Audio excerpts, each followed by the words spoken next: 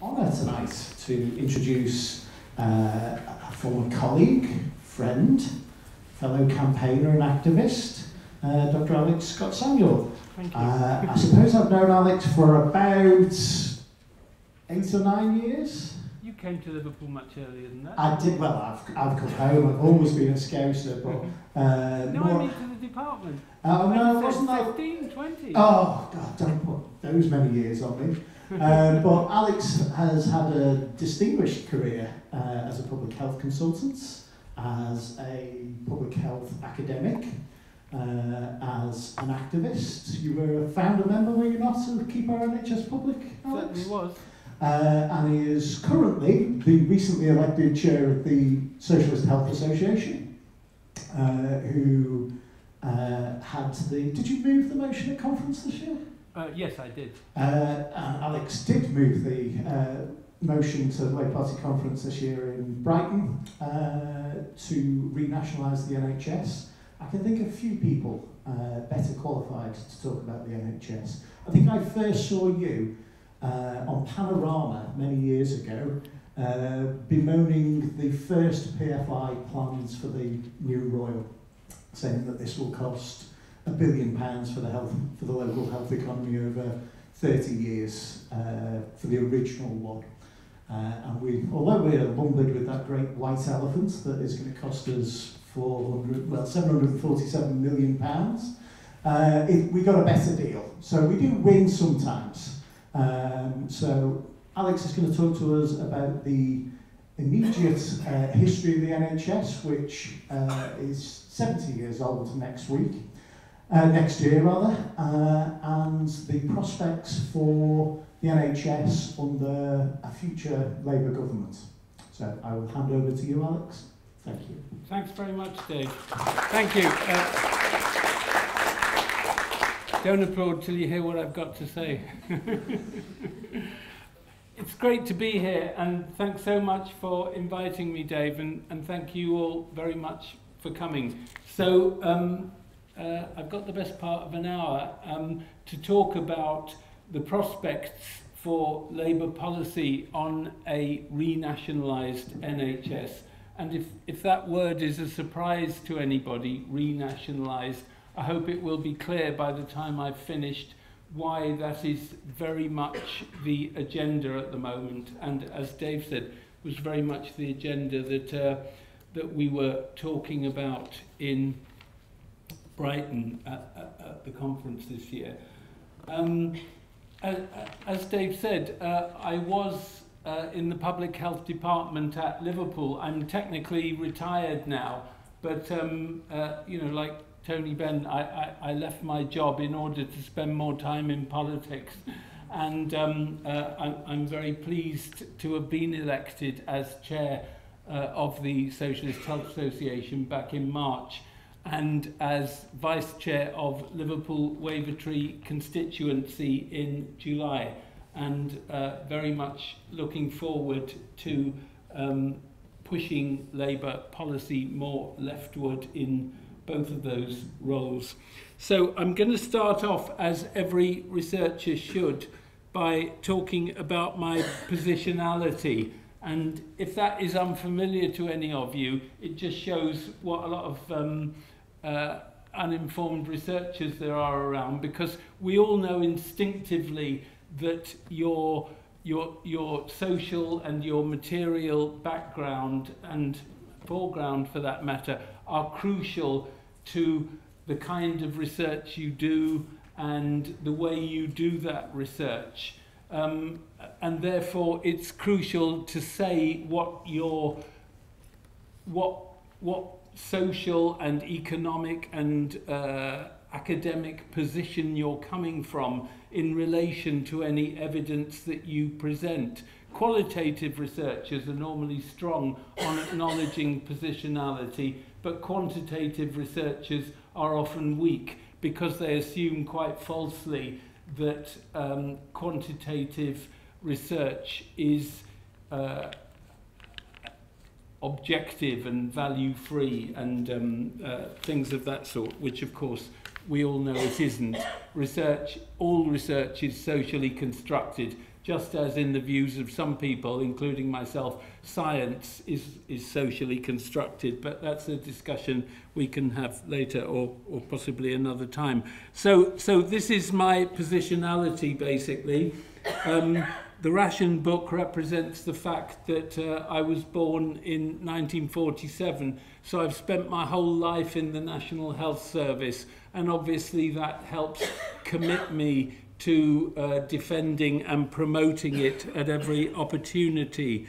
Um, I'm a feminist and a pacifist, and that very much informs my view of medicine as a medical practitioner, of public health, and of politics. Um, I'm, I'm a public health doctor, so hence the Faculty of Public Health logo, and obviously that is also part of where I'm coming from in terms of what you'll be hearing from me. And um, the, the bottom right one was meant to represent the fact that I'm a socialist, although I am in fact a member of Liverpool Socialist Singers, uh, a tenor, uh, if you were wondering. Um, and uh, as you may have heard before, I was going to start by inviting you all to join me in a rendering of something appropriate, but uh, thought better of it.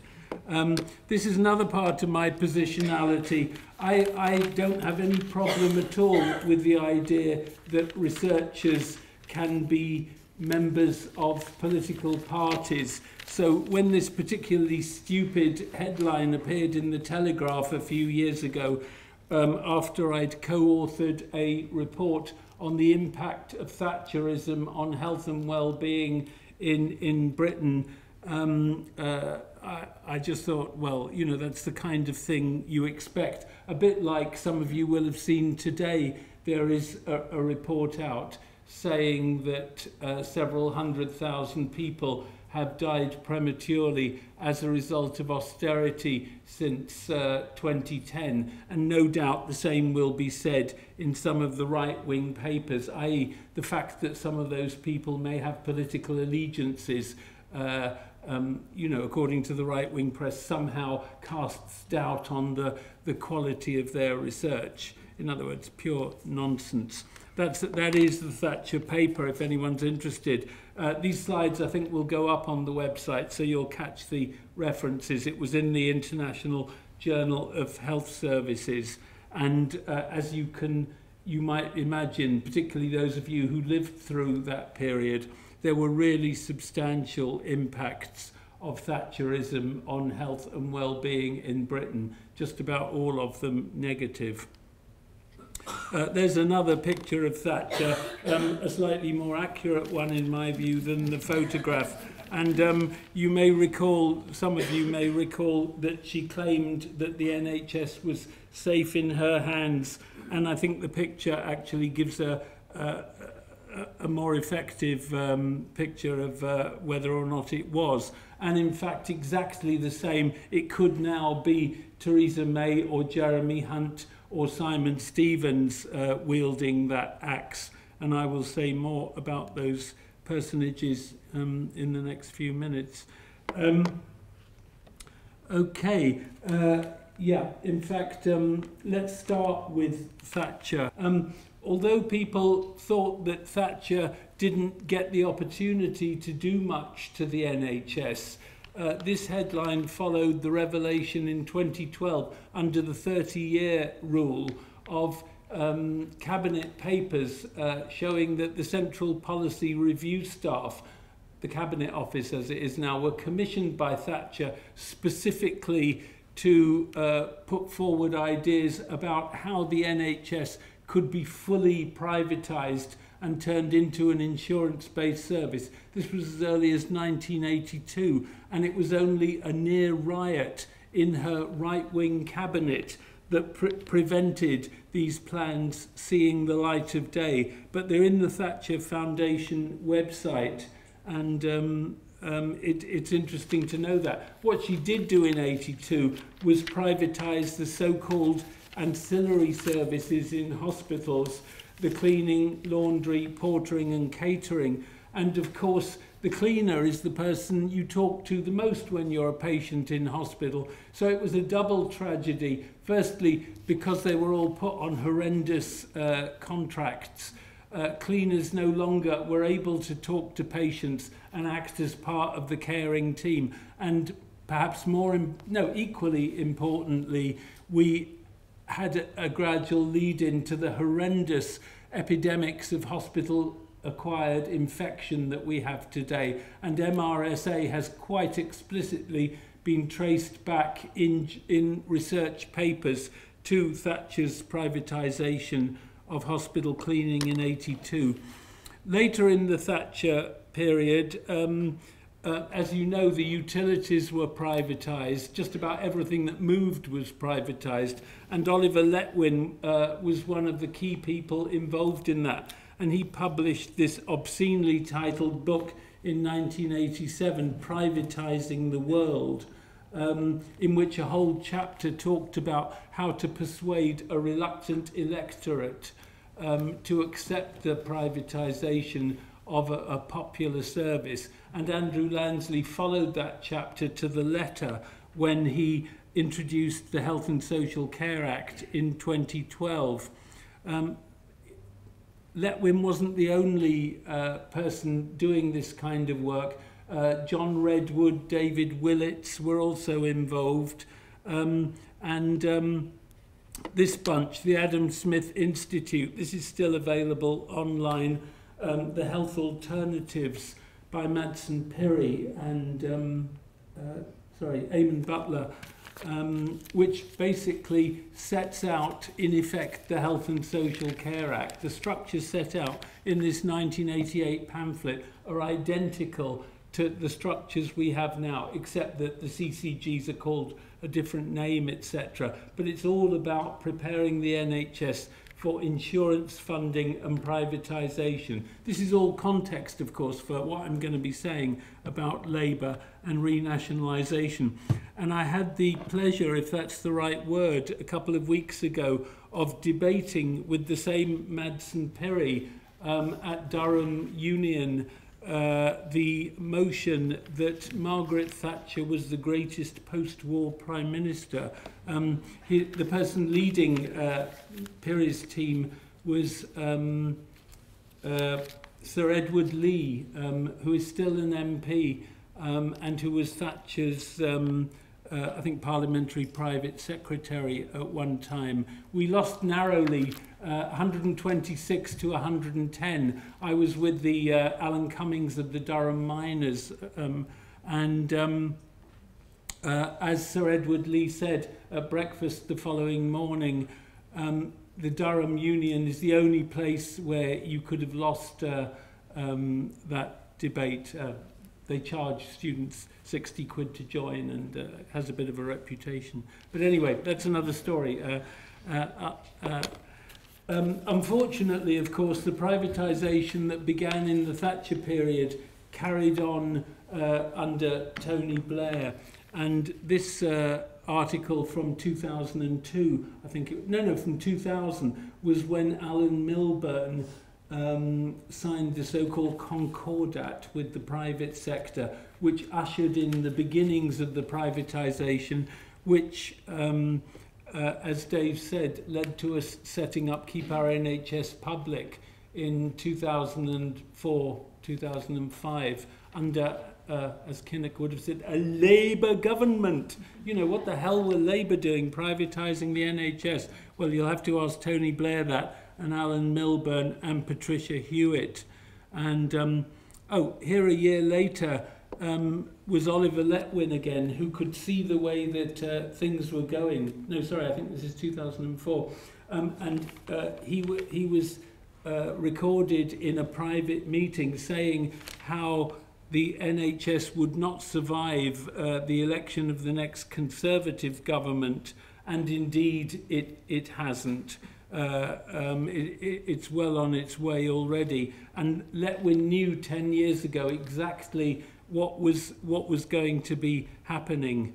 Um, and here is my former friend and colleague, my friend and former colleague Debbie Abrahams, now the shadow uh, secretary for work and pensions, but who worked with me and with Dave at the time um, at Liverpool University's Department of Public Health. Debbie worked with me for 10 years and um, uh, she was also at the same time chair of Rochdale Primary Care Trust and resigned in 2006 when one of Milburn's successors, Patricia Hewitt, was was privatising uh, um, the NHS in a particularly excessive way, as it were, and the independent sector treatment centres were, were, were, were being established, and large amounts of taxpayers' money was, was being given to the private sector. And Debbie, to her credit, uh, was not prepared to, um, to stomach that. We also uh, could see what was happening um, in this quotation from Mark Britnell in 2010. Uh, Britnell was at that time uh, in the uh, Department of Health, Director of Commissioning in the Department of Health, although he's now the head of health at KPMG. And in a private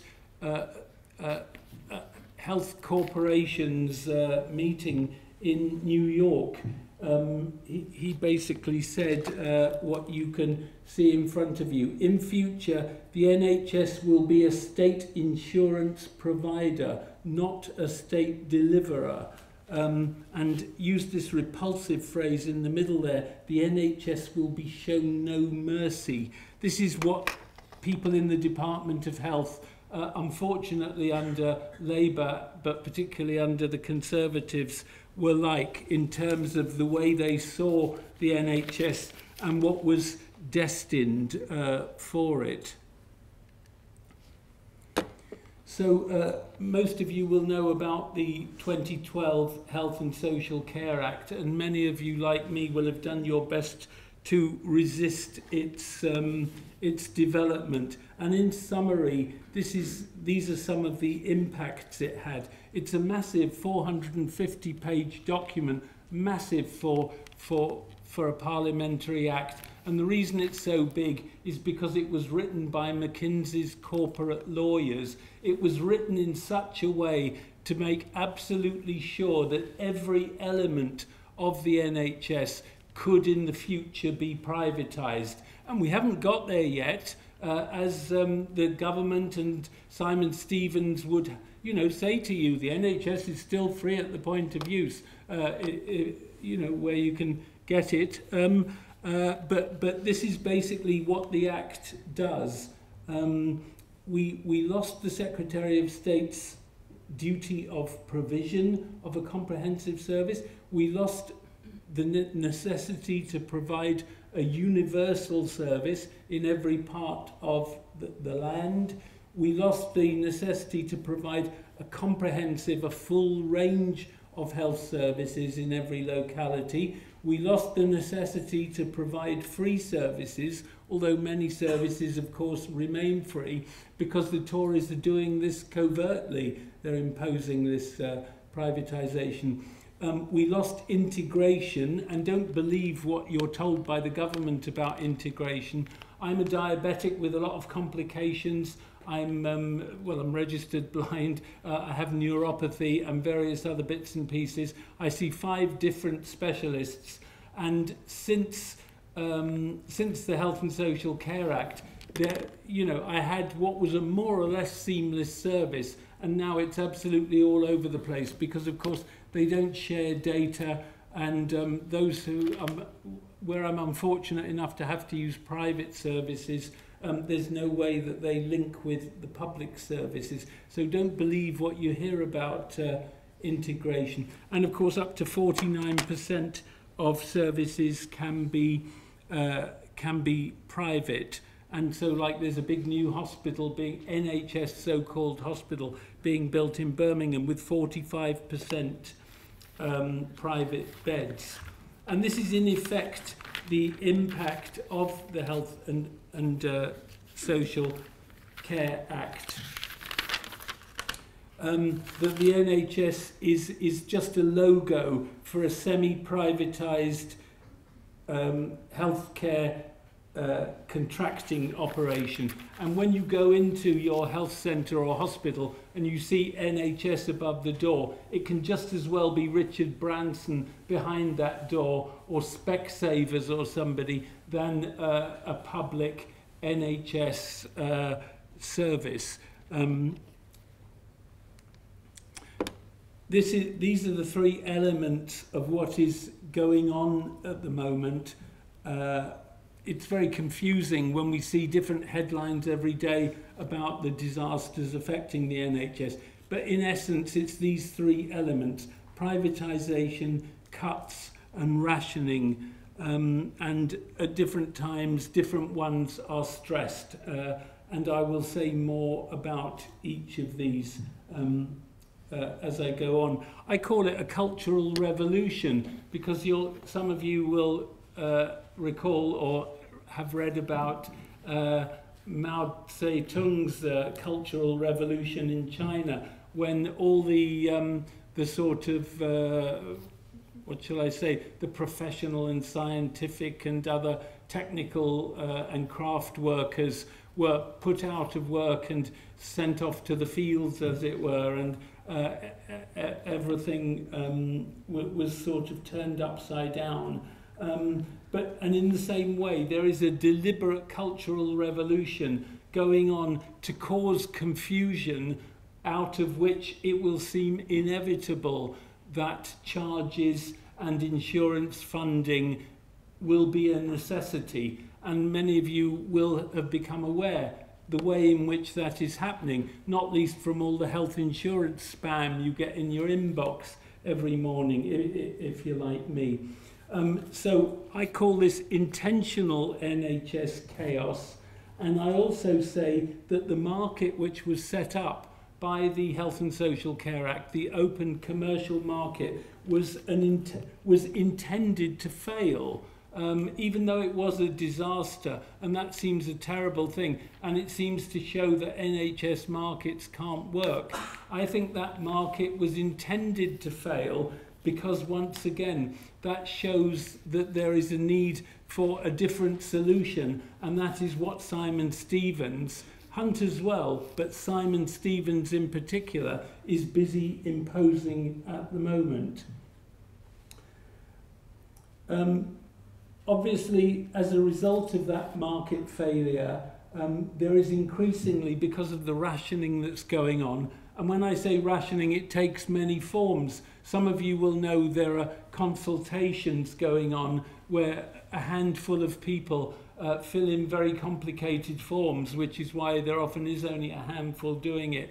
And from the, the small amount of evidence that that produces, skewed evidence, I should say, um, the CCGs conclude that uh, people are saying that access to things like cataract operations and joint replacement operations doesn't need to be uh, uh, as accessible as, as they have been in the past. And the bar is steadily being raised, which of course drives people who can't bear the pain to the private sector um, or, or the waiting lists drive people to the private sector. So uh, um, increasingly, as I say, there are also charges and co-payments for different aspects of care. Uh, personal health budgets, we don't hear much about that at this moment. A year or two ago, Simon Stevens was pushing that heavily, and he will again in the future, mark my words, because it was one of the things that he brought uh, from America Um, uh, and I'll, I'll mention more about that in a minute. Um, but personal health budgets is one of the things that helps create uh, a, a system like the accountable care organisations currently being set up, um, which is already to be taken over by health insurance. Personal budgets replacing national pooled budgets is one of the routes to that. Um, and health insurance and privatisation, as I say, is the ultimate aim. Um, so um, th this is what's been happening since the Health and Social Care Act. Uh, we started seeing headlines a few years ago um, saying that large numbers of hospitals could go bust. And now, of course, it's happening on a large scale. And there have been a lot of articles uh, recently uh, in the press about the numbers of hospitals. It starts with the A&E departments. They claim that uh, uh, we have more A&E departments than we need or that they can't be properly staffed or whatever. Next thing, they're being shut down and replaced by downgraded urgent care centres, etc. And even some of those are now being shut down. And ultimately, well, I'll say more when I talk about the, um, the STPs. But this is one of the ways that the Tories have made this happen through the imposition of deficits. And the reason I say imposition, there's nothing that suddenly caused hospitals to suddenly start going into deficit. Deficits are socially and economically constructed by the Treasury in conjunction with the Department of Health. And this map from a Health Foundation publication shows how between 2012 at the top uh, and 2015 at the bottom, that's three successive years, uh, we went from no regions of England being in deficit to almost every region of England being in deficit. So this was a complete construction of the government. As we know, austerity is a political choice, and uh, forcing the NHS into deficit was very much part of that agenda. This is the um, Health Foundation uh, publication that that uh, map comes from, A Perfect Storm. Um, I mentioned Simon Stevens, and um, that's not a picture of him. Um, that's an article I had in the BMJ blog uh, commentary column a few years ago, basically labelling Stevens as a cheerleader in chief for NHS privatisation. Uh, it's very tempting to point the finger solely at the Tory party, well, or at Tories of all parties, if you like, um, in terms of uh, the politics of privatisation. But Simon Stevens, once Tony Blair's number 10 health advisor in the early years of this century, um, and the person who introduced things like the independent sector treatment centres, which I mentioned earlier, which hemorrhaged money to the private sector. Um, people, you know, the NHS was forced to send patients to these independent sector treatment centres quite unnecessarily in order to force the private sector into the NHS, which was part of Blair's intention. And Stevens was the agent of that. He was then snapped up by United Health in uh, 2004. United Health, a predatory NHS, uh, a predatory health corporation in Minneapolis, and ended up as their executive vice president. Um, until he was uh, headhunted by the Conservative Party in 2014 and made chief exec of NHS England. Um, uh, because he's fighting for more resources for the NHS at the moment, it's tempting to see him as a good guy. Um, but take my word for it, a lot of those resources that he's fighting for will be to increase the development of the so-called STPs and ACOs that I'm going to talk to you about and increase the, the, the momentum, uh, and I'm using that word with a very small m, towards privatization. So, um, uh, so that, that's, that's what Simon Stevens is about. Um, the, the Tories then started attacking the health professions, and this uh, relates to the um, attack uh, on the junior doctor's contract, which you'll recall a couple of years ago. And um, uh, although it was presented in terms of issues like weekend working and all that, and the government was shown to be completely false in, in their notion that um, uh, either doctors weren't working at weekends or that uh, a full seven-day week uh, could provide a more effective NHS Um, they used that as part of the basis of their attack on junior doctors and on their terms and conditions and their training in particular. But this wasn't out of the blue. And in fact, it goes back actually to the pre-Thatcher days because in my research on Thatcher, it's taken me back, for example, to this paper, the Nationalised Industries Policy Group, which you'll find on the Thatcher Foundation. And this report from a group chaired by Nicholas Ridley in 1977 talks about how they will attack the, uh, the staff of public services as and when they become government, which of course they did in 79.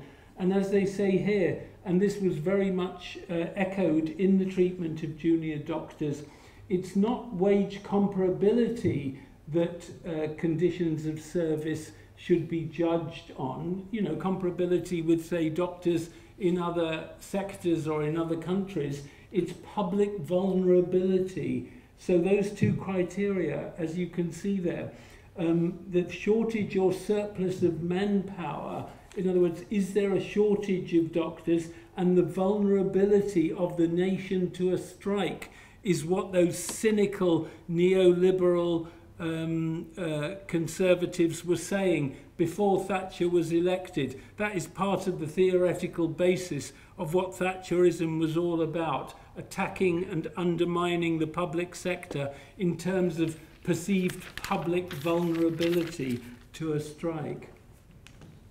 Okay, so what's been happening since the Health and Social Care Act?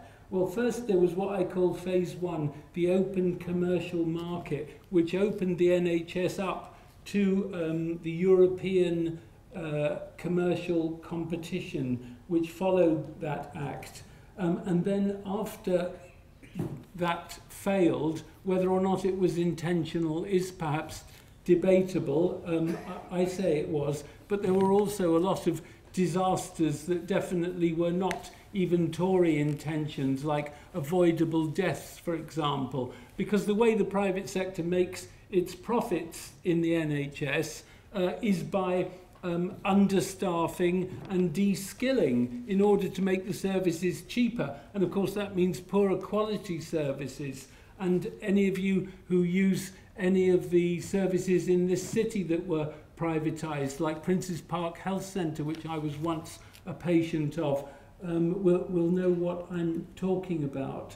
Um, and there, there were avoidable deaths around the country and uh, people whose um, poor quality eye operations failed and led them to go back to NHS um, uh, emergency services to, to, to, to, to have them repaired and corrected. So what um, Stevens introduced after he came in, back in 2014 from America is what I call the planned privatization phase, which is going on at the moment. A lot of people have been fooled into thinking it's good news because it involves regional structures which had been taken away by Lansley. But those regional structures are not like the regional health authorities we once had. Um, they're like regional corporations, and I'll be saying more about that. So what Stevens brought in first was the five-year forward view um, with its so-called new models of care, um, which were about basically undermining NHS hospitals and replacing them by sort of packages of care in community units with less skilled staff uh, than in specialist uh, hospital units. There were vanguards, which um, were so-called pilot projects, although none of them were properly evaluated in the way pilots are supposed to be. Um, and there was NHS devolution, most obviously in Manchester, where uh, sadly the whole uh, of the health services in Greater Manchester um, uh, were, were handed over um, by Osborne together with Hunt um, to the um, enthusiastic, I'm sad to say, uh, Labour councils in Greater Manchester who thought because they were going to get their hands on the money that would actually give them some control which of course in the context of austerity and everything that's happening to local government and so on is a complete nonsense. Then there were the, sustain, the STPs, the Sustainability and Transformation Plans, and the ACOs, Accountable Care Organisations. Um, uh, both of those uh, are going on at the moment and I will say more about them. This is the five-year forward view which introduced um, those uh, those STPs, ACOs and so-called uh, new models of care. Um, and these are the elements of the five-year forward view. As I've said, replacing hospital beds with care at home, uh, digital monitoring, home visits, etc., replacing full A&E services with urgent care centres, replacing expensive specialist care, unavoidably expensive specialist care, with community care packages provided by less qualified staff, as, as I've said. Um, and um, of course, all of these uh, approaches are attractive to, um, to corporates and to insurance. And that, of course, is what we are being prepared for. Um, although, of course, um, government have been so clever in the covert way they've done this, both Hunt and Lansley, um, that, that they've so far managed to get away with it. Um, this uh, brilliant uh, uh, blog by Stewart Player, who some of you will know from his, um, his uh, book that he co-authored with Colin Leys, The Plot Against the NHS. This is on the Socialist Health Association website. And what Stewart's research in the Scottish Library over a long period uh, discovered was that the STPs were not, as Simon Stevens and NHS England claim, uh, dreamt up in uh, in London uh, at NHS England in conjunction with doctors and nurses with whom they discussed these issues around the country and health managers, etc. They were actually dreamt up in the World Economic Forum at Davos, and Stuart cites in this paper, um, uh, and it's still up there on the SHA website, the two reports from Davos which precisely which contain precisely everything in the five-year forward view. The new models of care, the, um, uh, the, the, the way in which they would be uh, put into practice, not just in the UK, but this was aimed to undermine public, publicly funded health services around the world. Because that, of course, is what the multi, the transnational corporates who meet at Davos are all about. It's about giving them greater power and greater profit.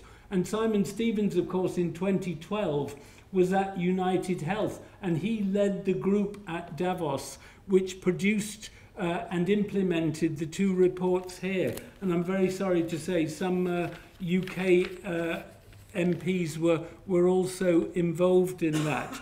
But basically, this is why the Tories brought Stevens back from Minneapolis to the UK to, to impose this, uh, these transnational uh, capitalist plans on the NHS, which is what is happening at the moment.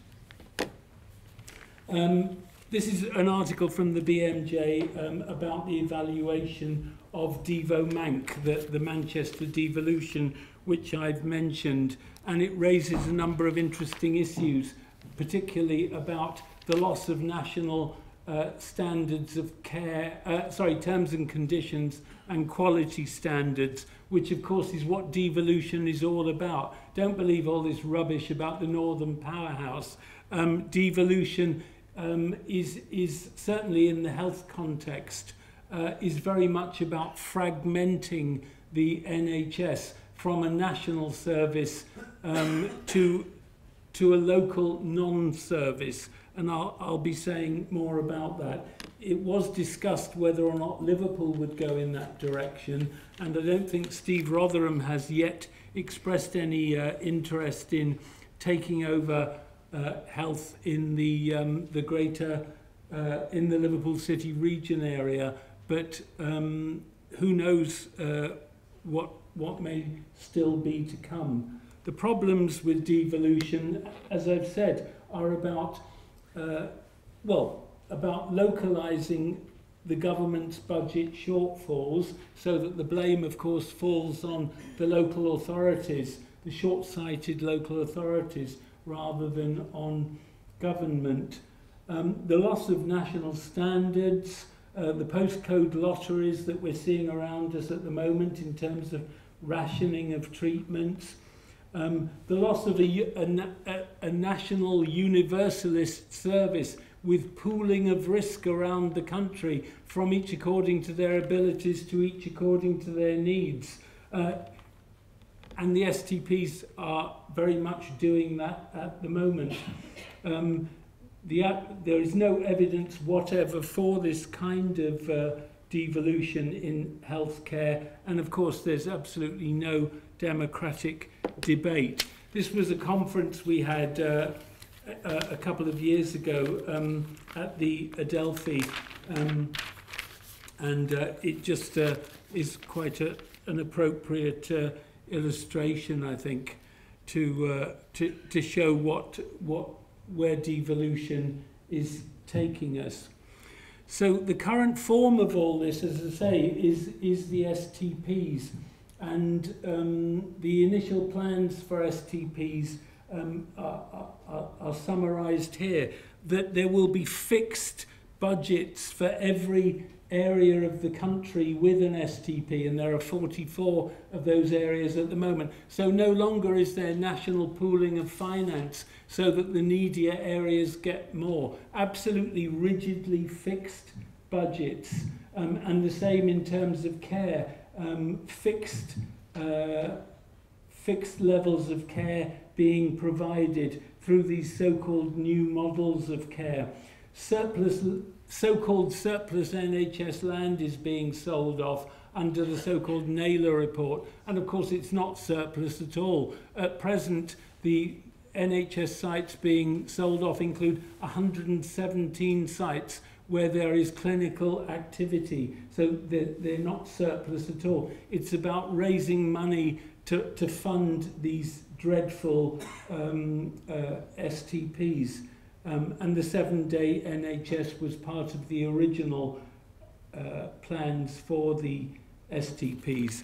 And there were financial penalties for areas that didn't follow them. So, so much for all the nonsense about CCGs being led by GPs, etc. They were very much dictated by the government. And as the Health Service Journal said at the time, private providers were looking at uh, a role within these STPs because that is very much the government's intention. So don't believe what you hear about, uh, about them being part of a, a public service.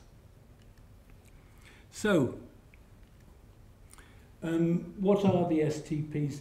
Uh, what are the characteristics of them? They were imposed without with neither parliamentary nor a public mandate. Stevens is very clever and he's done all this through regulation. He's undertaken the biggest reorganisation the NHS has had since 1948 with no public consultation whatever and not even a parliamentary debate. And we, as in the population of this country, and in particular the 650 population of the House of Commons, ha have let him get away with it. There is an explicit uh, aim to eliminate deficits, so-called, in each STP area by cutting services. So, in other words, um, the services are being rationed, and in some areas they've already specified which services will be provided.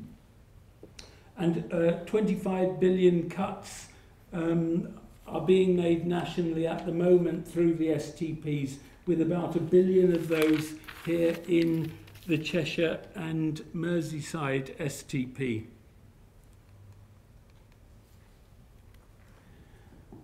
The replacement of specialist hospital care, as I've said, with cheaper untested, de-skilled new models of care. Um, uh, that, that is the, the key element uh, of the um, STPs. And um, the way that these STP plans, sustainability and transformation plans, are, are being implemented now is through so-called accountable care organisations. You'll also hear the phrase accountable care systems. Um, the systems is, if you like, the alliances of local authorities, those who are short-sighted enough to go along with them. Uh, and the organisations are the actual bodies delivering them, and some are more ahead than others in terms of developing these ACOs, which are based on health maintenance organisations in the US. And um, many of you, particularly those who have seen the Michael Moore film Sicko, will know what a disaster those have been. I better hurry up. Um, okay, accountable care organisations. Um, they don't have to be universal, they don't have to be comprehensive, um, uh, and um, uh, they will deliver, as I've said, contracts for defined, restricted packages of care. And there has recently been a so-called consultation, which people only learnt about when it was leaked, um, about the uh, ACO contract. Um, rigidly fixed budgets, as I've said, very much designed for insurance top-ups and eventual privatisation. Um, at the time of the last general election, uh, Labour started saying that they would halt the Tories' um, uh, STPs, but they didn't say it as strongly as they could. So let's move on to the manifesto. The manifesto was really the stimulus for this, um, uh, th this lecture. So um, I'm going to give you a few quotes from the health and care section of the manifesto. There were a lot of good things in it, but there was uh, many people said that, that the health section was the weakest section of the manifesto, and um, uh, perhaps this will illustrate why. So um, th this is one quote from it. Uh, it mixes the, the good and the dubious. Um, Labour will halt and review the NHS STPs Um, so yes, that, that sounds positive. Halt and review, although of course a review doesn't necessarily imply how and whether it will actually be eliminated. We will create a new quality, safety and excellence regulator. Yep, so that, that sounds very good. Um, The next Labour government will reverse privatisation. That sounds great, doesn't it? And of course, we were delighted to see that. And return our health services into expert public control. I'm not sure what expert and inexpert public control are by comparison, but it can't be bad, can it? Expert public control. Labour will repeal the Health and Social Care Act. Uh, yes, that, that, that is also very positive. We will reinstate the powers of the Secretary of State for Health once again, something that is very much uh, required.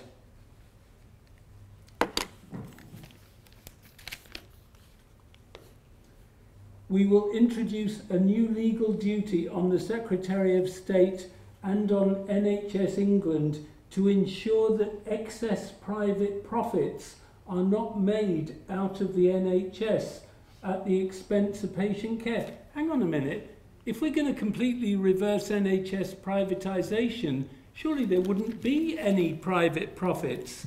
And um, I think I forgot to mention something in the previous.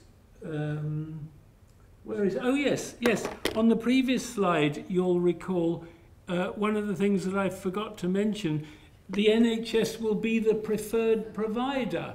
Once again, hang on, if there is a fully public NHS, then there, there is no choice of providers. There's no such thing as a preferred provider. That implies, at the very minimum, an internal market. So you can see that the health section of the, um, the manifesto was a bit of a, a crazy mixed up kid. And one of the things that happened at Brighton this year um, well, I'll, I'll tell you about it in a minute. Um, this is uh, um, Jon Ashworth, the um, Shadow Secretary for Health, speaking at a rally just before the, um, the Brighton conference started.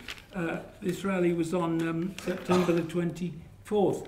And he said, uh, he went, having been slightly criticised by some for saying, halt and review the STPs. He actually said for the first time at this rally, and I was there, so uh, I can be a witness, we will halt the STPs. Um, and it was very good to hear that. Um, So, what happened in the actual conference itself? Well, this very interesting blog in Labour Briefing recently by Fay Dowker gives an insider's view of what went on at the, um, the compositing meeting when the motion to be debated on the NHS was, was put together.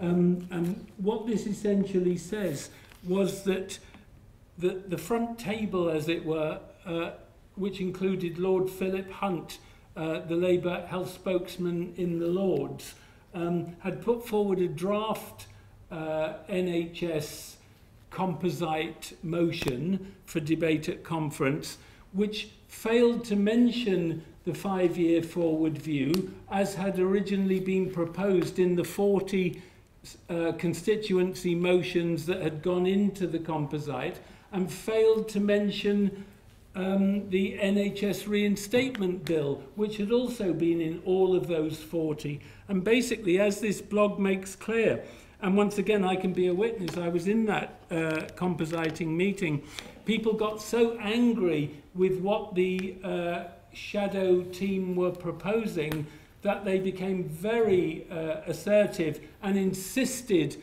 that the full content of all the proposed motions be included. And that was why we did eventually get a very radical motion, which uh, is on the Keep Our NHS public website. You can see the motion in full, which essentially called for full renationalisation of the NHS. And as Dave said, I was elected to propose that motion and Sue Richards of Keep Our NHS Public to second it. And I was very proud to fulfill that role to propose the complete renationalisation of the NHS and even prouder when the motion was carried unanimously. Having said that, um, proposing a motion is not, uh, is not the end, and carrying a motion is not the end of the story. You then need action, and we can't wait for the next general election to renationalise the NHS. God knows what will have happened to the, uh, depending on when the election occurs, to the NHS by then, although we all fervently hope it will be sooner rather than later. So I published this, um, uh, this article um, in the Morning Star, basically saying Labour needs to get its act together now, and we need particularly Labour councils, but all Labour politicians need to act now to withdraw cooperation from the dreadful STPs and ACOs and prevent them going ahead here and now. We need a bit of non-violent direct action. Um, Jon Ashworth, once again, has been very positive in his rhetoric and at last week's, uh, sorry, two weeks ago at the Health Campaigns Together conference on um, November the 4th, um, uh, came out with this very positive notion uh, of how um, STPs were, were going to be halted and uh, we were going to fight for the NHS. Um, but once again, um, we still need uh, Labour to really come to terms and start talking actively to all Labour councils. At the moment, we only have two Labour councils that are fully refusing to collaborate with STPs. Hammersmith and Fulham Council and Ealing Council. And we need every council, every Labour council in the country, and every council which has people who care about the NHS actively refusing to collaborate in every possible way with the way that the NHS is steamrolling through these STPs. And this is a blog I published a couple of days ago in Labour Briefing, um, uh, asking this question, which still has to be asked. Can we renationalise the NHS? Because we, a lot more needs to be done than is presently being done. One of the things that needs to be done, I've mentioned already, we need an NHS reinstatement bill. And the, the fantastic MP for Wirral West, Margaret Greenwood, took the NHS Bill 2016-17 as drafted by Professor Allyson Pollock and Peter Roderick, among others, um, to its second reading in the previous Parliament. It's still there on the Parliament website if you want to look at it. Um, and there is also a website um, which, which tells you all about uh, the um, NHS reinstatement bill.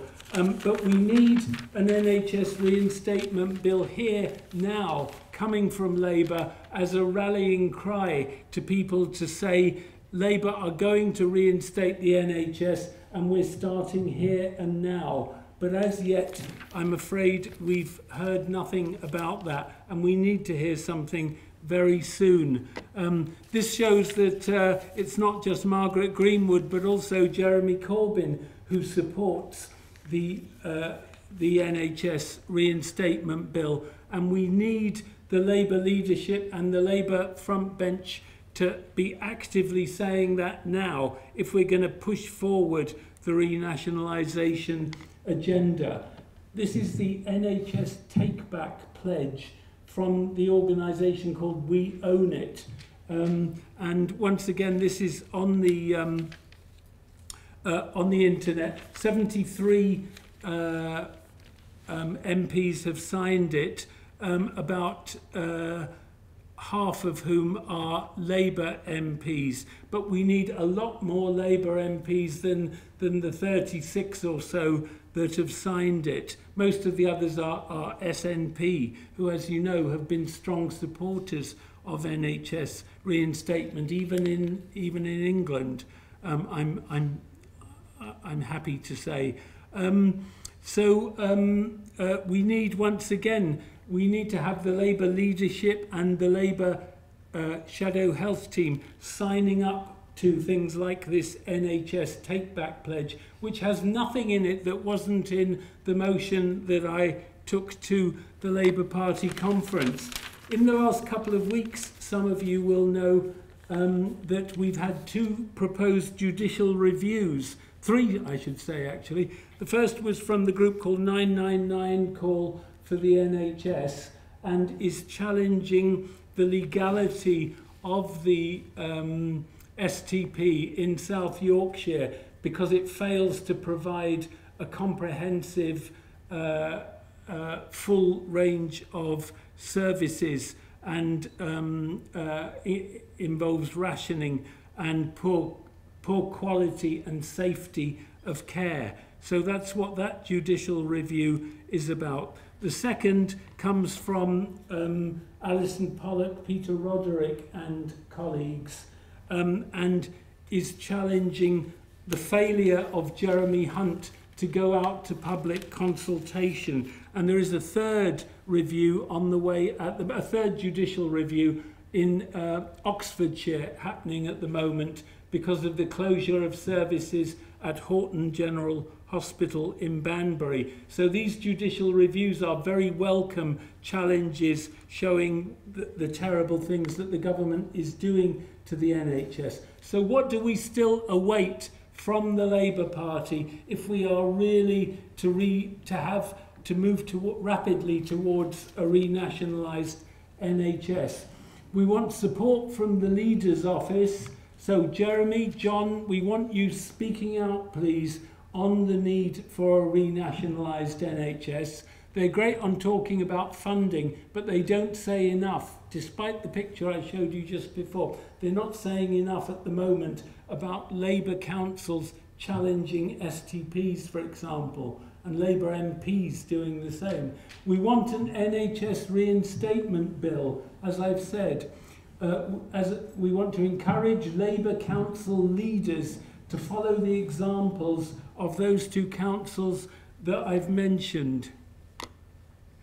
Um, we need national campaign materials. As a, a Labour activist, I go out on the streets campaigning and leafleting and so on, but there haven't been any new campaign materials based on the new NHS policy agreed in Brighton. And I sincerely want some leaflets to that effect. And we want motions of support from constituencies and several Liverpool and uh, other constituencies around the country as we speak are putting forward motions saying that their local authorities um, must uh, re refuse to collaborate with STPs. And uh, I proposed such a motion in Wavertree a couple of weeks ago, which was passed unanimously. And of course, most of all, we want a general election. Um, there is that's the thing that most of all will, will help us uh, bring about a renationalised NHS. There is a website that has just opened which has a template motion in it. So if you are in the Labour Party, please look at that website and propose such a motion to your constituency. And finally, what will help us develop the renationalised NHS we all so fervently desire? Um, it's a question that we're all asking, and these are just some of the people who whose actions will help determine it. Most of all, us on the bottom right there. Um, we need to be out there on the streets doing everything we can to push not just Labour but the Conservatives and every other politician going um, and every trade union and professional organisation uh, to, to fight for a fully renationalised NHS in England. At the top right there, um, uh, Jeremy and John are doing their bit, and as you've heard me hinting, perhaps they could be doing a, a little bit more. So um, uh, I hope they're listening, or they will at least listen when this goes up on uh, uh, the, um, the, the internet. And on the left, uh, on the left of the picture, but not by any means on the left of the action, Simon Stevens, uh, the former Labour politician in the 90s, he was a, count, a Labour councillor in Brixton before he sadly uh, moved across to the dark side where he uh, remains. Um, uh, he's someone whose actions will very much determine what happens, and he's currently distancing himself from May and uh, Hunt by arguing vocally for more money for the NHS. But as it stands, it's some of that money will help uh, austerity staffed clinical services but much of it will just help fund the privatisation that Stevens has brought to the NHS and which is well underway. Uh, May, as we know, is on the way out, so hopefully she will just do the sensible thing and um, call a general election. And Hunt, it's, it's difficult uh, to know what to say about Jeremy Hunt. He has done so many dreadful things to the NHS. So um, perhaps I'll leave it to you to say in the discussion, which I hope will follow, um, uh, what should be done with him. So that's all I want to say, and I hope very much that you've got some uh, comments and questions uh, so we can take this agenda forward. Thank you.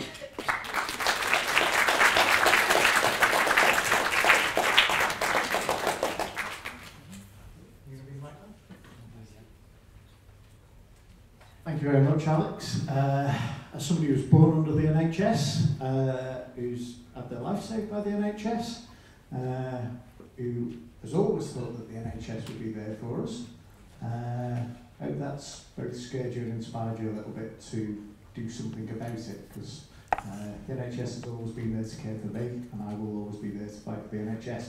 Are there any questions for Alex so as I pass the mic round? Or comments? Or comments?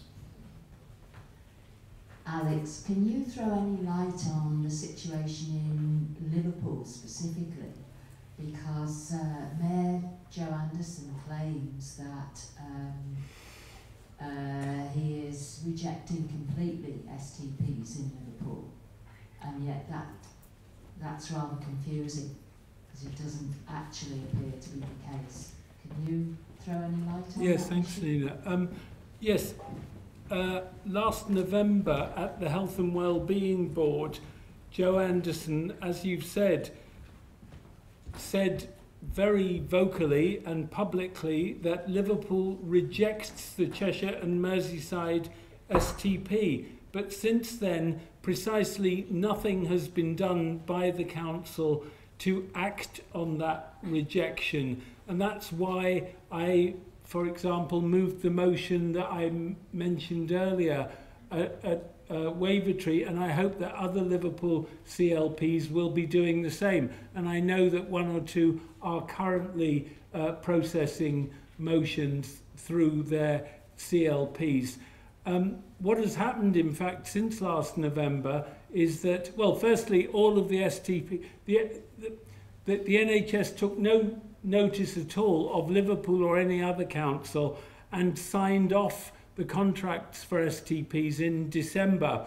And Liverpool, I'm very sorry to say, has since then collaborated with uh, the STP, um, both in, for example, uh, setting up a joint organisation um, which was to take over uh, Liverpool Community Health, um, uh, and uh, Mersey Care was also part of that uh, process. Um, that was about uh, six months ago, I think. But more importantly, since then, um, they've set up something called the Liverpool Integrated Care Partnership Group, LICPG, um, um, or, or perhaps LUCPIG, I don't know, um, uh, which, um, which is an ACO in anything other than name. Um, in other words, the City Council is currently setting up uh, this integrated partnership group, which is an accountable care system in every way identical to those being set up around the country, except that it has a different name. And uh, Mayor Joe Anderson is the chair of that group. And I'm really sad that this is happening. And I'm doing my best to raise awareness around Liverpool uh, and Merseyside so that, people can actively oppose this. Um, so that's what's going on in Liverpool. Thank you. Could put your hand up earlier. I should have just projected, I think I'm quite um, No, it's Hi not Alex, matter. it's It's, Teresa. Hi, Teresa. Hello. Oh, thanks for the presentation. I've seen quite a lot of the presentations you've done. Um, the one thing that does concern me, oh, by the way, Joe Anderson talks like a Tory and ticks, ticks boxes like he's Labour. Don't buy into it. The one thing that does concern me is Richard Branson, and he's steadily inhaling NHS contracts without any challenge. And when he doesn't require, acquire a contract, he's actually suing now. And I'm just concerned that Keep Our NHS Public National is not starting a campaign against him. That's my one concern. And I've mentioned this before at our local meetings because people need to know what he's doing. There was a documentary on about five years ago, maybe longer, where he'd taken over a swathe of surgeries mm, predominantly on the Wirral, but not exclusively, run them into the ground. There was no continuity of care. The chronically ill were suffering. Some of the surgeries were open two days a week. It was all locums who showed up or chose not to show up. And it was an absolute disaster. So he did save money for the NHS because there was no service. It concerns me now that he's, he's got billions of pounds worth of NHS contracts and we're going to be beholden to him soon. And I just wondered why KONP National has not done that, you know, challenged him. Yeah. Um, as you know, I'm not a spokesperson for KONP National, although I am on the National Steering Group. What I would say is they have done a fair bit of awareness raising about the actions of Virgin Care and of all the other private companies that have been given NHS contracts. Um, I don't know how realistic it is for them specifically to focus on Branson and his services. As you say, Panorama did a very good expose. I think it was a couple of years ago, particularly showing the um, uh, primary care practices on the Wirral and other parts of the country that have been taken over by Virgin Care and often been an absolute disaster. And certainly I know that the officers of uh, Wirral CCG who were in the pay of Virgin uh, had to resign uh, as part of the, um, uh, the, the scandals that hit Wirral um, uh, a, a, a year or so ago at the CCG there. So I think maybe, as you say, more could be done uh, in relation to, to Branson in particular.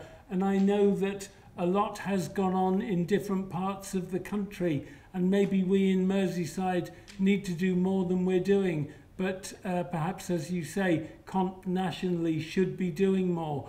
But to me, Branson, uh, while very much a guilty party, the, the others, whether it's Circle Health or Assura or Care UK or any of these other dreadful people, uh, dreadful organisations to whom taxpayers' money is hemorrhaging um, from the NHS, um, uh, need to be focused on equally.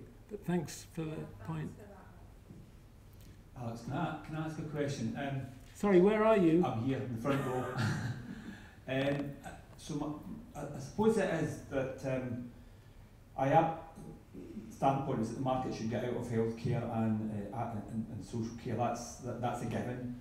Uh, that we need to um, that that would include you know uh, opticians, dental treatments, all of those things. So, so that for me would be the starting point. Um, but is there not a slight problem with the, the use of the word renationalisation because it gives an overarching impression that what we want to do is almost go back to the 50s or the 60s and the health system that was in place in the 50s and 60s.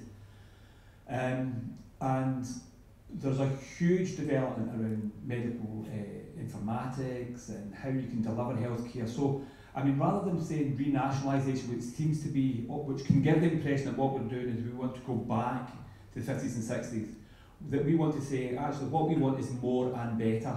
We want more, we want the market out, but we want a better healthcare system, and that's one that listens to service users, because actually in the 50s and 60s, service users were never listened to. Uh, there was huge power for the consultants, there was, so it's more and better, and the problem with renationalisation as a slogan can give the impression that we just want to go back to the large general hospitals of the 50s. With respect, uh, it's the word impression that I think is the key to what you're saying. If, pe if we say to people renationalise rail, uh, they don't expect us to go back to the 50s and 60s. They know that rail has been a disaster under the private sector and they would expect it to be a modern 21st century rail service publicly owned. And that is precisely, as far as I'm concerned, what renationalising the NHS will be about and what the NHS reinstatement bill that I mentioned earlier is about. So I agree with you that we don't want to go back to the 50s and 60s, but I disagree with you that renationalisation, the word, has to give that impression. I want 21st century renationalisation, and just as everybody is clear that the Corbyn led party uh, is taking us towards 21st century public services as if people and technology uh, mattered. That is exactly, in my view, what needs to happen with the NHS. But I take your cautionary note about the semantics of the word renationalisation. Um, but maybe if you have a better word which means exactly the same, but lacks the lacks what in your head is something to do with the 1950s, it would be great to hear it. Well, it's not. It's, it's not so much in the terms of the, in terms of the, the words or whatever, but but it is about. Um, if you look across, even across Europe, it's not the case that we have large general hospitals necessarily as, as the as the as, as the first point of entry to, a, to a, a modern advanced health system. So for me, it's it's making sure that, and, I suppose I, I would hope that our Labour Party and the trade unions and the uh, pro-NHS groups would might be saying that uh, what we need is something commission to think about what our health health system and healthcare system would look like because there has been all these huge advances around genetics and informatics, which means that healthcare of a high standard and a good quality, which free at the point of use and is completely nationalised, can be delivered in a lot of different ways. But I don't think we've thought through those that, that part of it, and I suppose that was the point that I, that I make. I think you know that, that's what I mean by more and better. Well, the Socialist Health Association, which I chair, has certainly thought it through, and we published a green paper, a consultative document at the Brighton Labour Party conference, setting out our views on just what you've described a fully public uh, NHS and fully public social care service set in the context of 21st century uh, values and resources and materials. And I hope very much that that is the vision that Labour will take forward. So, points well taken. Thank you. Uh, Alex, thanks for an excellent talk and really always concerning. Keep hearing these talks every so often, every six months, and the situation is getting worse and worse. I want to ask you a very difficult question, and I think if you had the answer, you would have already said it. But um, the story from Stockport is standing on the streets with the, the protest outside Stepping Hill Hospital. Every other car that goes past beeps their support. Our most implacable enemy is the local Labour councillors in many ways, and my latest intelligences are that they've just denounced the Stockport NHS Watch. How do we put pressure on those councils that are, that, are, that are not in line with our with our vision of this renationalisation of the NHS? Yeah, thank you. It is difficult, and um, I call myself and the Socialist Health Association, as long as I chair it, as critical friends to the Labour Party. And that's what I'm trying to do by publishing these radical blogs uh, in like the two that I uh, put up, for example. Um, I want to gently coax, um, I, I won't use that repulsive word nudge because um, uh, that's, uh, that's the repository of economists and um, I, I don't think economists uh, always understand what goes on in, in the real world. Um, I, I want to gently persuade uh, the, the Labour Party to take us in that direction and I want to see pressure exerted on the leadership, the leader's office, and the shadow health team to take us at a greater rate in the direction you're describing. I want local authorities to be drawn together by Jon Ashworth and his team and to be reminded of the composite, composite 8 motion that was passed at conference and the fact that that, that Labour Party policy, because conference is sovereign, now calls for complete sorry, renationalisation of the NHS and that Stockport and the rest of Greater Manchester and Liverpool and every Labour council in the land needs to be considering what they can do to help ensure that the STPs and accountable care systems are stopped here and now. And every local authority has a role because it provides social care and, has, and therefore must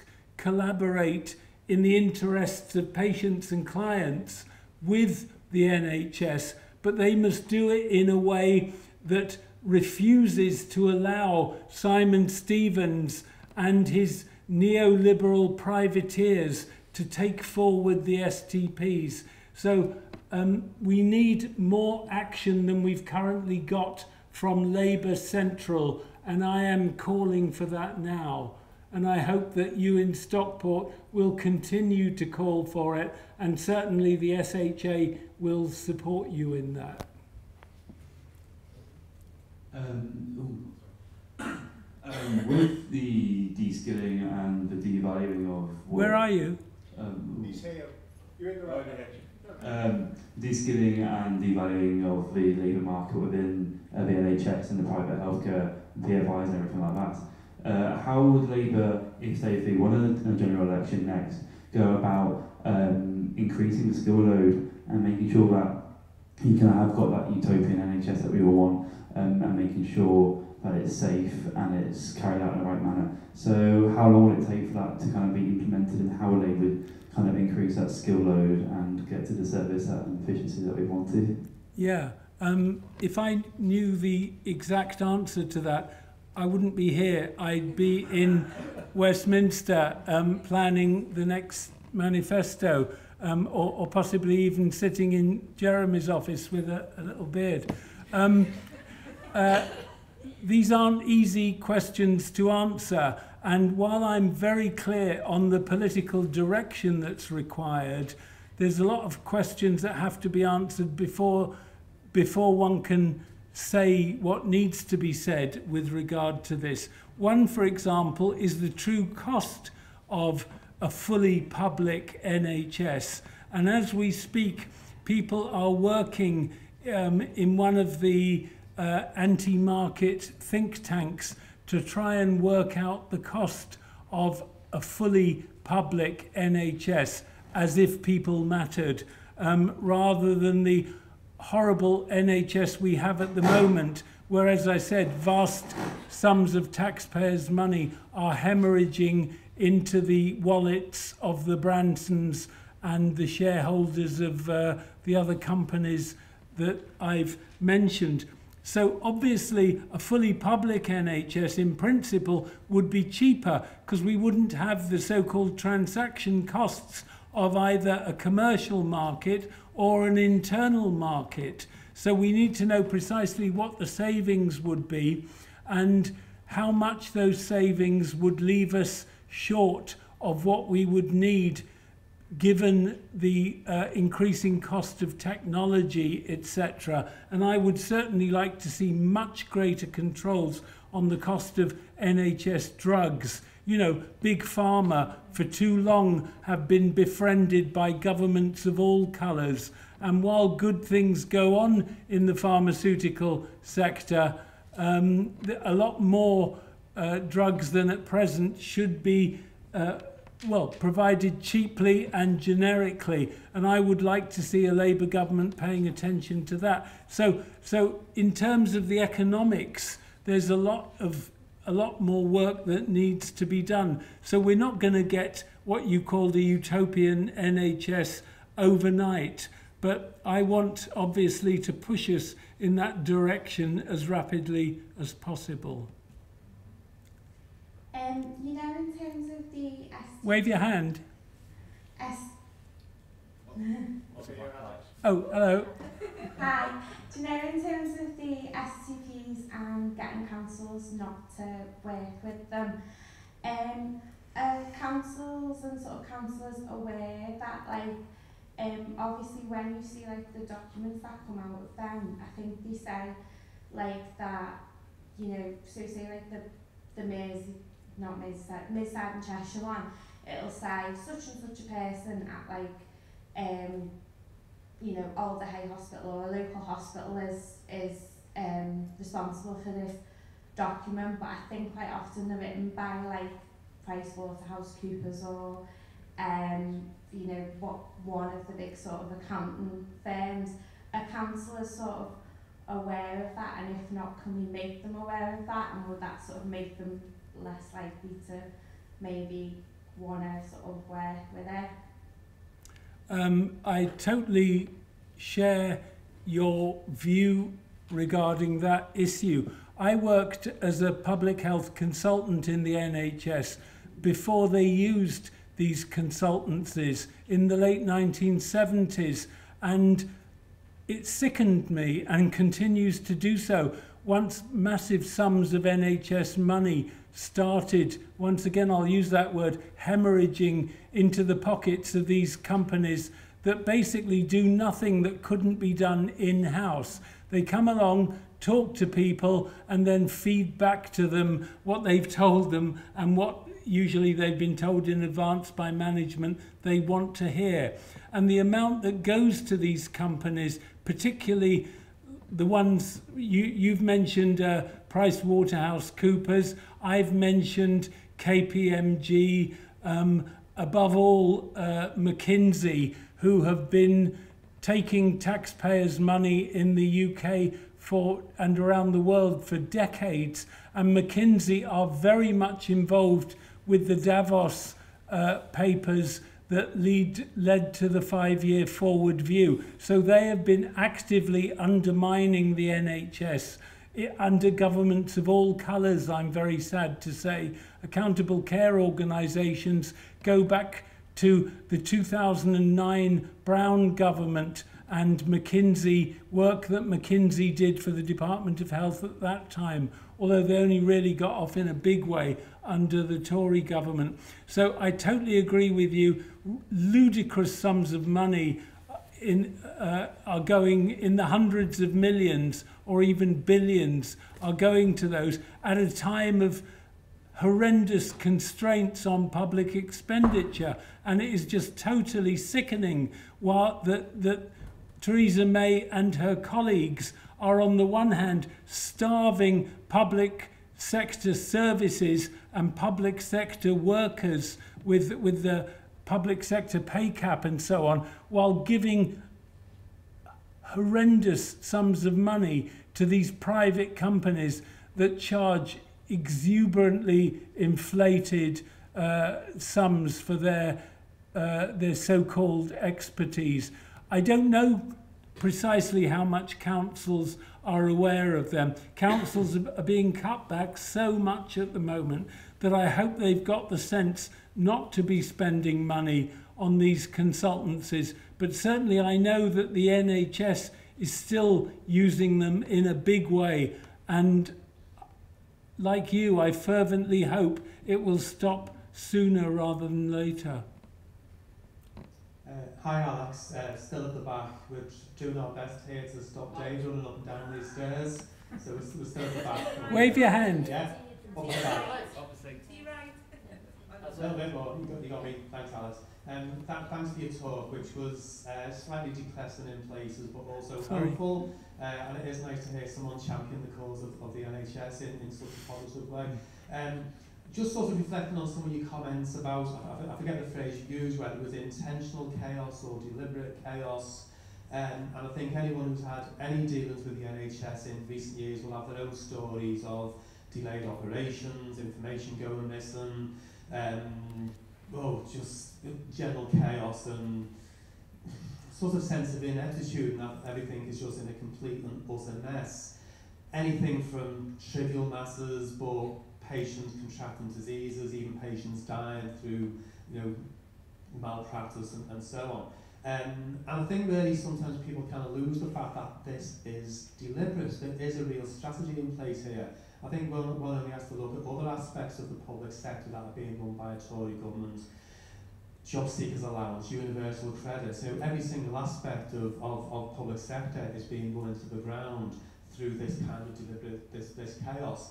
And, and what it does, it, it grinds patients down, it grinds benefit claimants down, it grinds staff down, and we end up with a sort of general sense of apathy that this is how it is. This narrative of public sector inefficiency and ineptitude just seems to grab hold and, and, and takes root and, and, and, and, grows and develops and, and people get very sort of cynical and apathetic.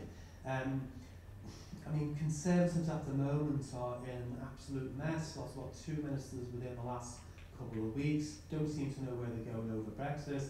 And yet, if you look at the polls, I think Labour is about two percentage points ahead in the polls. We should be racing ahead at, at the moment.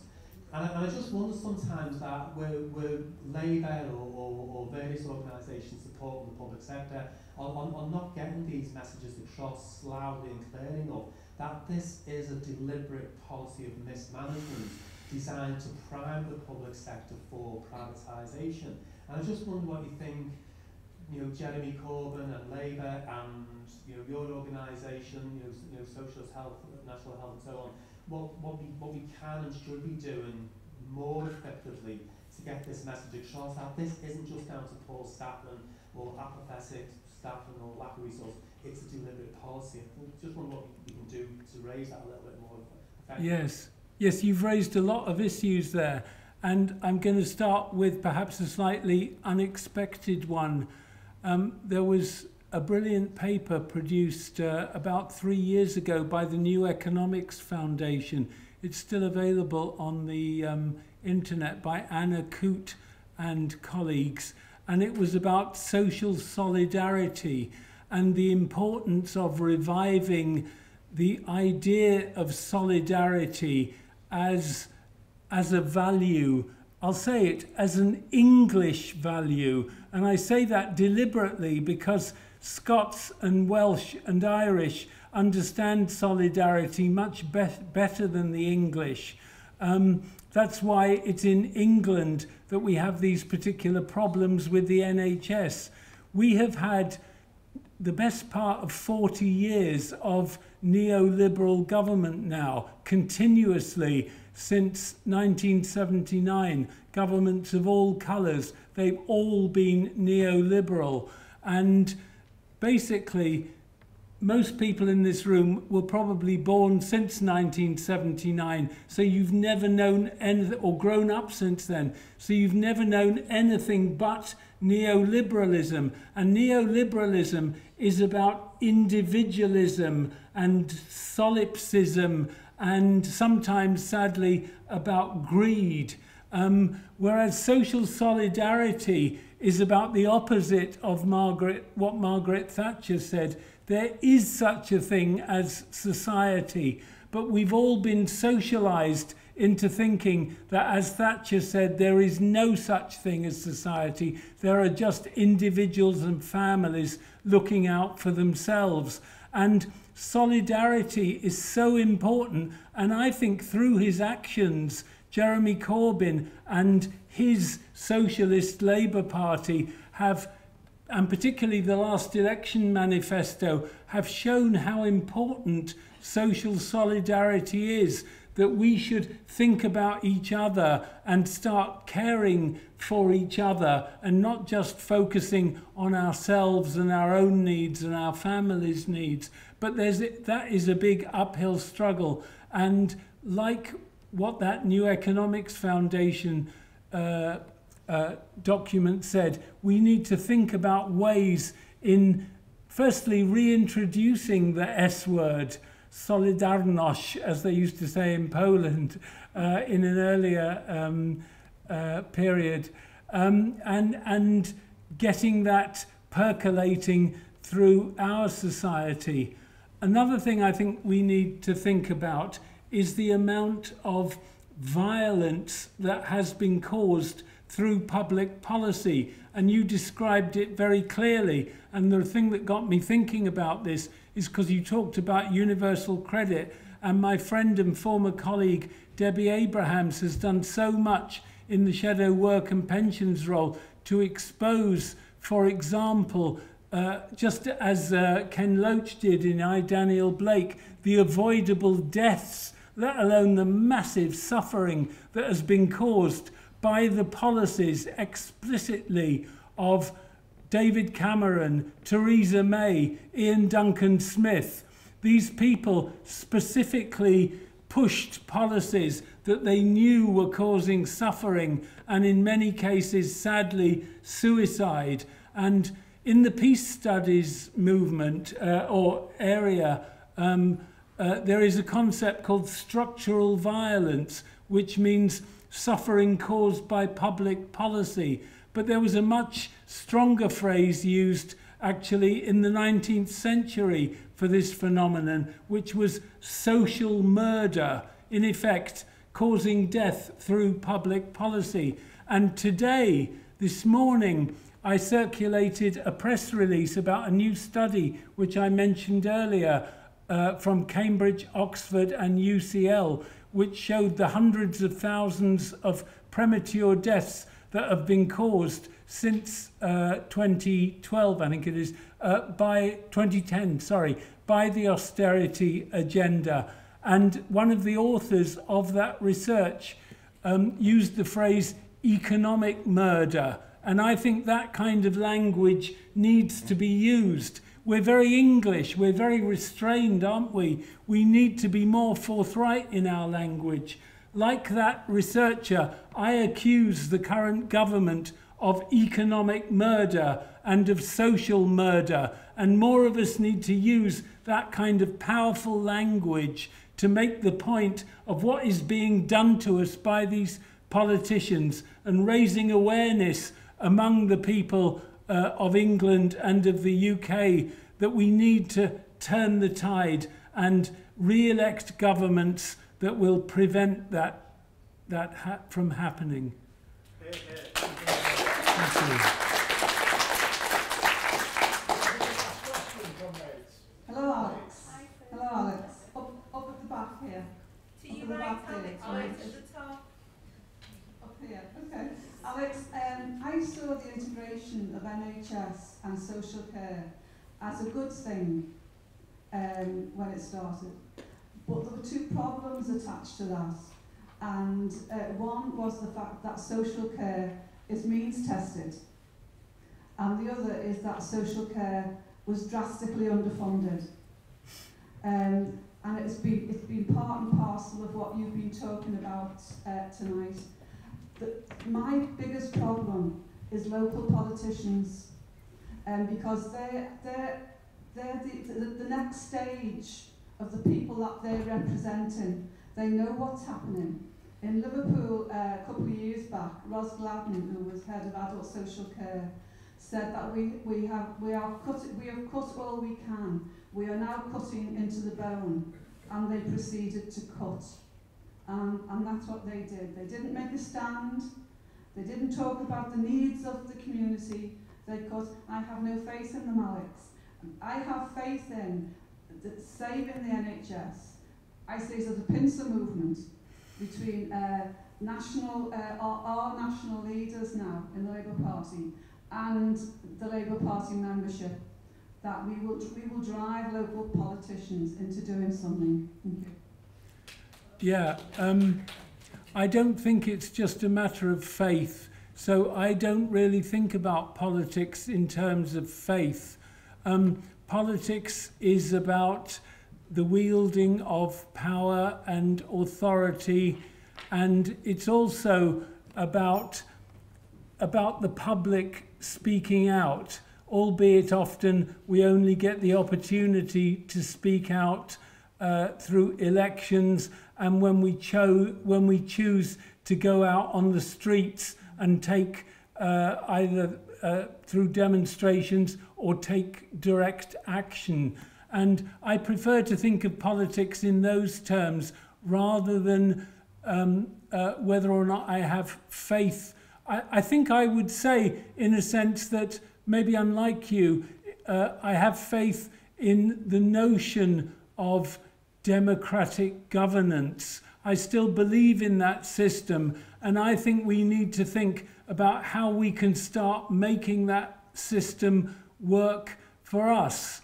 And uh, the, the context of integration, which you raise, is obviously a very important one. And it has to be said that integration under the present government um, is a weasel word, which isn't what integration would mean under a future Labour, Labour government. Of course, we want seamless integrated services.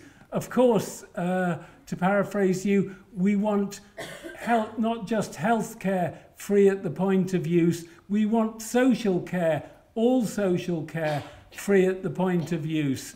And um, we're not going to get that under the present government, and anything that calls itself integration under the present government isn't really that at all. Um, and as you say, uh, anything that in the present climate involves the integration of health and social care is just as likely to mean health moving towards means testing as it is to mean social care moving towards, uh, you know, becoming cost free. Thank you very much, Alex. I'm afraid our time is up, uh, but I'd certainly like to thank you for your lecture, your questions and answers.